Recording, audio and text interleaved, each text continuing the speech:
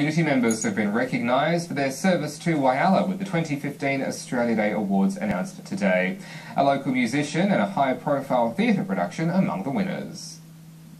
After taking out the Australia Day Youth Citizen Award in 1999, 16 years later, Alison Hams has again been rewarded for her commitment to her hometown, named Whyalla's Citizen of the Year.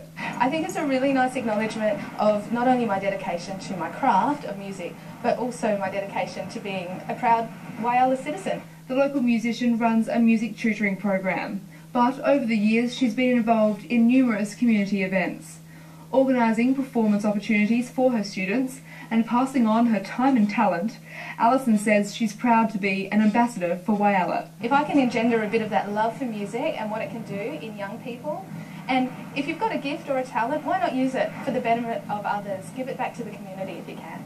John Edward Air High